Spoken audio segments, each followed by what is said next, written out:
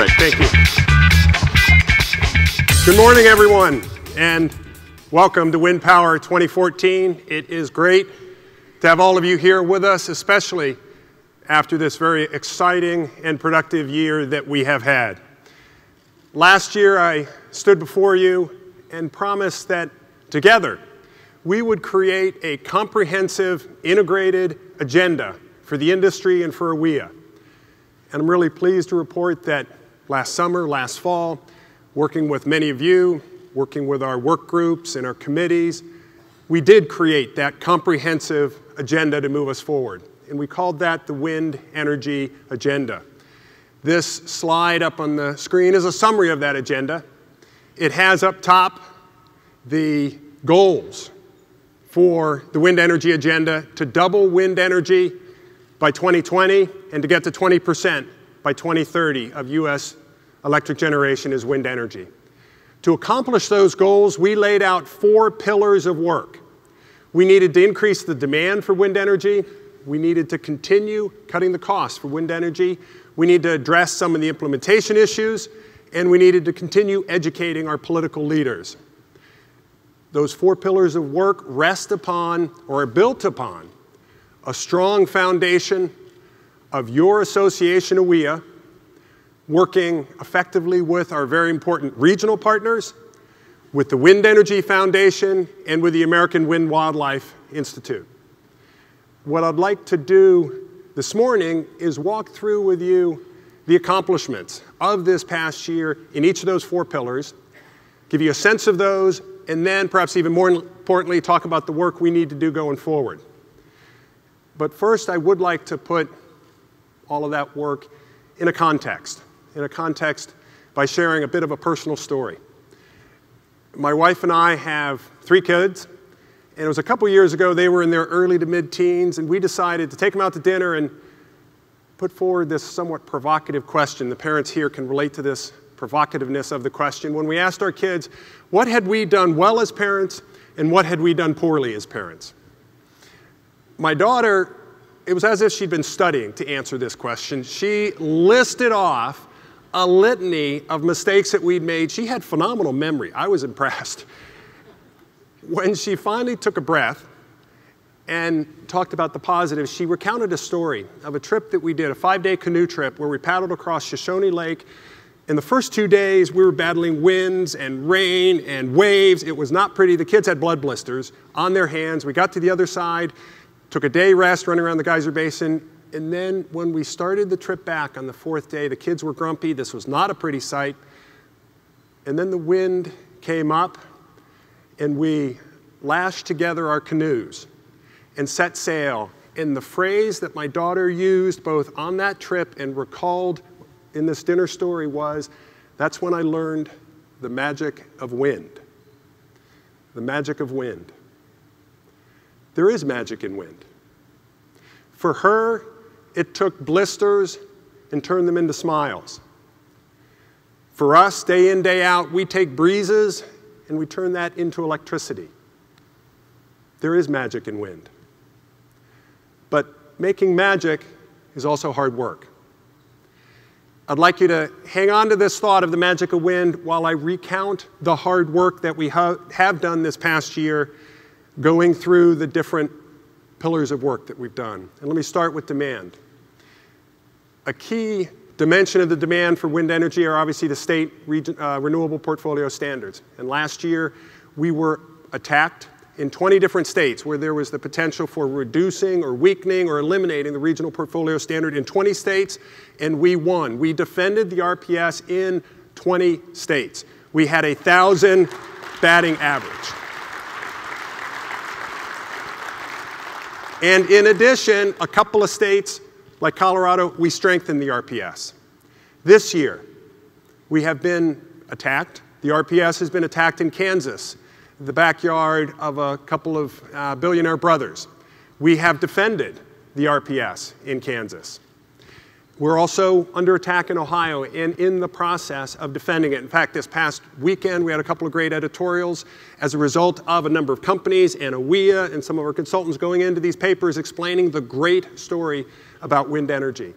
So we're making progress both defending and where we can strengthening the regional renewable portfolio standards to increase the demand for wind energy. That's one place. Second place, we've been working with the Environmental Protection Agency as they get ready to propose in June the uh, Clean Air Act 111D provisions to remove or to reduce carbon emissions from existing power plants.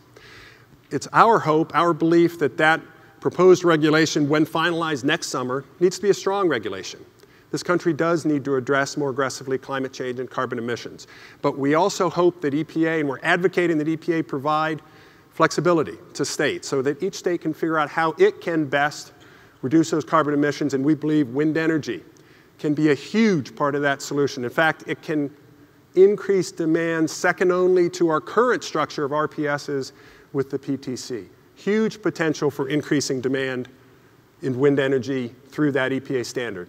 And it's not surprising that we're doing well with RPSs, we're doing well with EPA, because poll after poll show that Americans love wind energy. Navigant did a poll recently, 72% of the American public said they like wind energy, and that number, 72%, is on the rise. 73% of Americans say they want to see those tax incentives extended for renewable energy. Third, in Kansas, we're close to 20% of the electric generation in Kansas is wind energy. 91% of Kansans support wind energy. So we've got the demand, the call from the American public for more wind energy. So it's not surprising that there are a few other billionaires. Warren Buffett and his MidAmerican Energy is demanding and installing more wind energy in the middle part of the country, both for consumers and for companies like Google and their server farms other billionaires like Phil Anschutz, who made a lot of money in oil and gas, but is now realizing the right thing to do going forward is to install 1,000 turbines on his ranch in Wyoming. And it's not only billionaires that are demanding more wind energy, utilities are as well. This chart showing that there have been in the last year 60 PPAs signed throughout the country from utilities demanding more wind energy.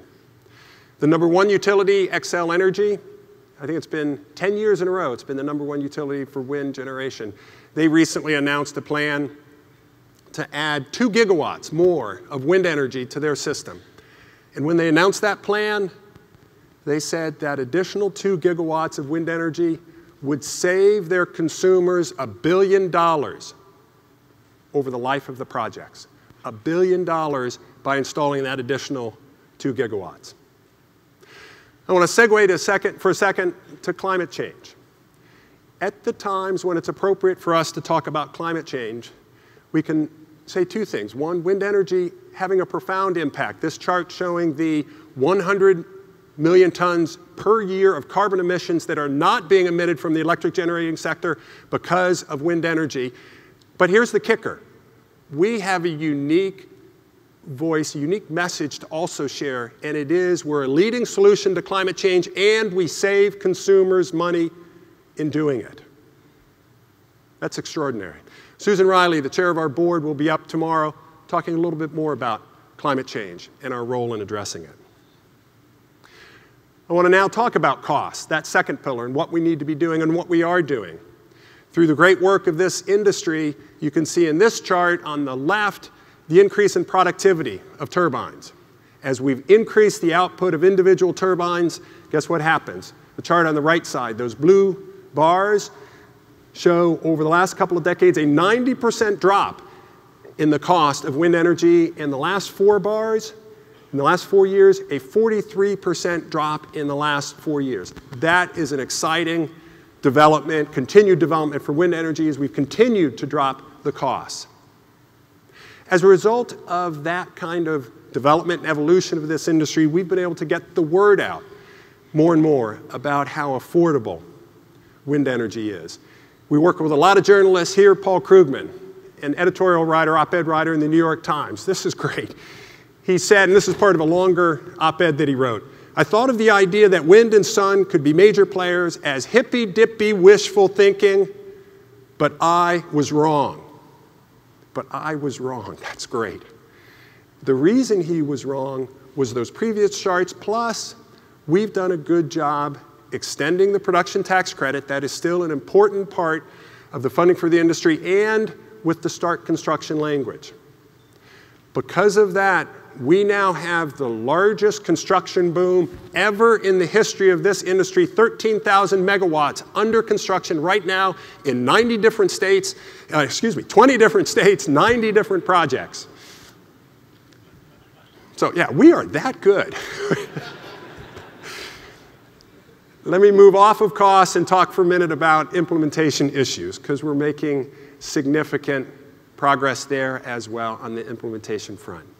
One of our challenges obviously has been wind and wildlife interactions. And I'm pleased to say with a lot of work from our siting committee, we were able this past year for the Eagle, Eagle Take permit to extend the length of that permit from a five-year permit to a 30-year permit.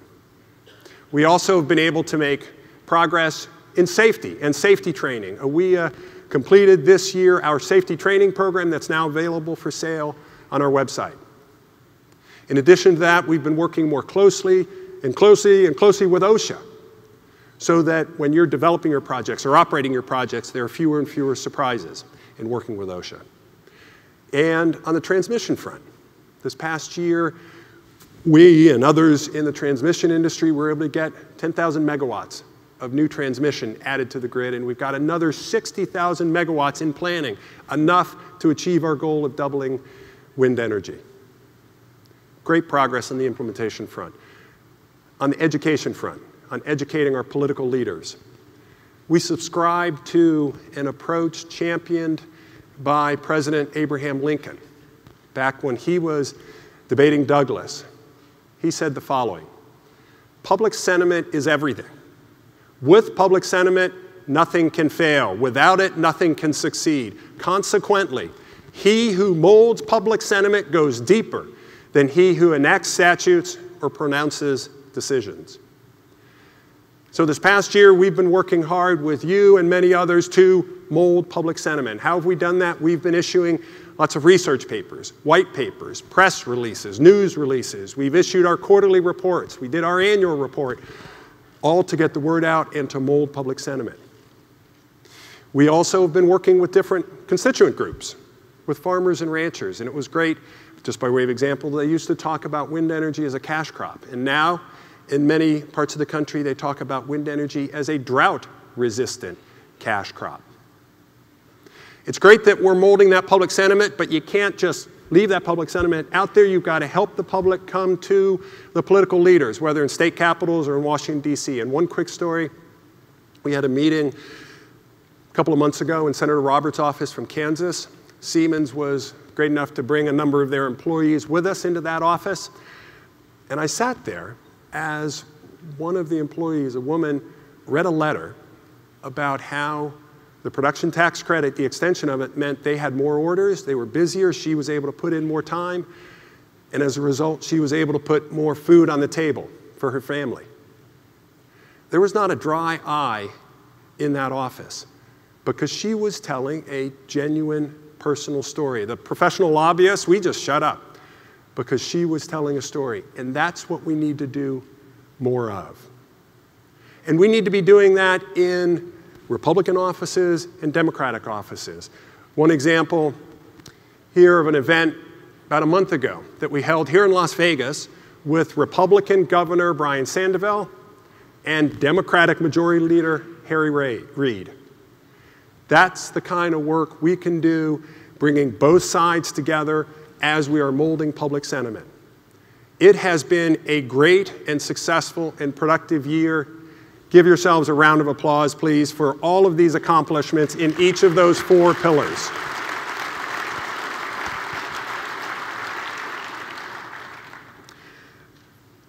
But there is a lot more to do if we are going to double wind energy by 2020 and if we're going to get 20% by 2030.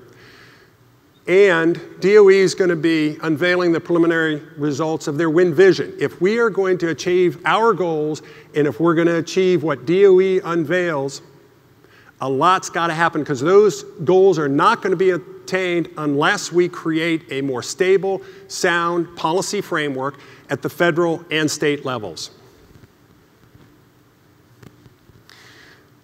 It is our responsibility to make that progress. We are at a crossroads. We need to get the PTC extended, and we need to create a long term policy environment, and we need to make progress on each of those four pillars. It is our responsibility to do that. And what I want to do now is talk about how we are going to do that in this room and how the 80,000 employees in the wind industry supply chain have to get involved to make this happen. This next slide shows, is going to show the checklist.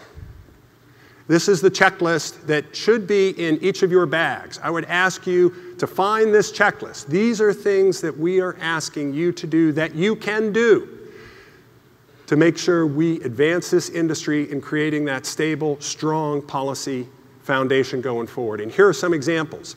I ask all of you to sign up for the powerofwind.org. It's written in here, powerofwind.org, so you're getting our emails on how you can get involved. I also would ask as many of you as possible to sign up for our Speakers Bureau so that you can speak to a Rotary Club or wherever it is that we need to have speakers. I would also ask you to update your member profile so you're getting all the newsletters that you need given your areas of interest. I would ask you to bookmark on your smartphone truthaboutwindpower.com so you can have the latest talking points. And if you're eligible, I ask you to contribute to WindPAC. WindPAC is our political action committee that allows us, it enables us, it empowers us to give financial support to our political champions, it is extraordinarily important that we raise more funding in this election cycle through our WindPAC, and I'd ask you to get involved. One last way I'd ask you to get involved. The extension of the production tax credit is in an extenders package. It was passed out of Senate Finance Committee a couple of weeks ago. It will likely be on the Senate floor next week. So here's the next thing I need you to do write down this number 202 224 3121. When this session is over, please call that number. That is the switchboard to the Capitol. Ask for your senator, and they will patch you through to the senator, one of your senators, and let them know you would like that senator to vote for the extenders package so that the PTC is extended. Just give that message to them. Then hang up. Then call the number again and ask to talk to your other senator and leave them the exact same message. In closing, there is magic in wind. My daughter knows it, I know it, I feel it. Meredith McDonald, a wind tech, who's on the right hand side in the middle of this photo, in the middle on the right hand side there, was the one who took that other photo. Hopefully, you can see it says, I heart wind energy. There is magic in what we do, but there's also hard work in what we do. We need to come together, engage all of us, engage the 80,000 people in our supply chain to make a more stable, stronger policy foundation for this industry. We, as this year, celebrating our 40th anniversary. Say five years from now, we sure as heck better be back here with a stronger, more stable policy framework. I don't want to be back here in five years without that. So, working together, we can make the magic of wind a reality. Thank you very much.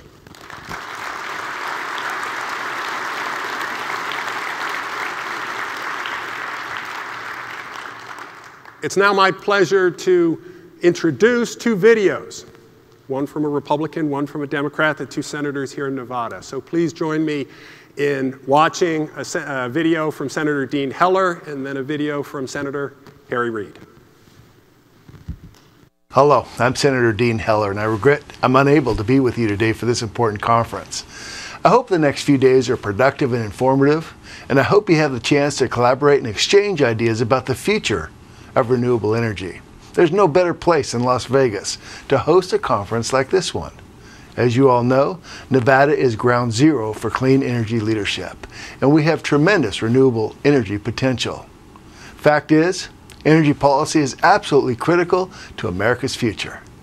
A sound energy policy is key to economic growth, national security, and environmental stewardship. Developing alternative sources of energy, like wind energy, will help us harness our vast potential and will make our country stronger and more prosperous. As America becomes more energy independent, utilizes technologies like those showcased this week, we will provide more good jobs, create a higher quality of life, and keep energy prices affordable. Those are important goals that I'm committed to reaching as a United States Senator serving on the Energy and Natural Resource Committee. I want to thank everyone who contributed to planning and coordinating this conference, as well as everyone who supported and participated in it this year. I've appreciated working with each and every one of you and look forward to continuing that relationship as you innovate as leaders in America's energy sector. Thank you for the opportunity to share a few moments with you and enjoy the rest of your time right here in Las Vegas. Welcome to Nevada, everyone the Wind Energy Association. Thank you for doing this conference in Nevada. We are in love with renewable energy, as well we should be. It was only just a short time ago that Tom Kiernan and I met and we talked about the $5 billion industry in Nevada of renewable energy. We have wind in White Pine County, not far from here, that has been spectacular. Near my hometown of Searchlight, we're looking at a 87 turbines to put in there to produce lots and lots of electricity. It's the future of our country, renewable energy. We must be part of that future. Thank you for meeting in Nevada for three days to talk about that future. In September, we're going to have my seventh annual Clean Energy Summit. The keynote address will be delivered by Secretary of State Hillary Clinton. We, each one of these summits is better than the last one. I certainly hope you can attend. It would be worth your time. And by the way, have a great conference. Great.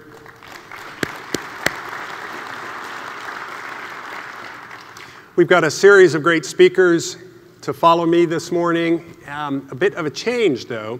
Dave Danielson from the Department of Energy was going to speak this morning. The unfortunate news is he's not speaking this morning. The very, very good news is he will be speaking tomorrow. And the reason it's moved one day is he's got a very significant and special announcement to share with all of us, but can't do it until tomorrow. So come back tomorrow morning, and Dave Danielson from DOE will join us then. This morning, we've got Shaun McGrath, who will be introduced in a moment, Region 8 EPA Administrator, and also Stacy Kusters, who's the Vice President for Renewable Energy and Origination at NV Energy. To introduce Shaun as our next speaker, I'm going to ask Chris Brown, the President and CEO of Vestas North America, to come up and make that introduction. Chris serves on the AWEA board and on our exec committee and is a great partner in the industry. Ladies and gentlemen, please welcome to the stage Chris Brown.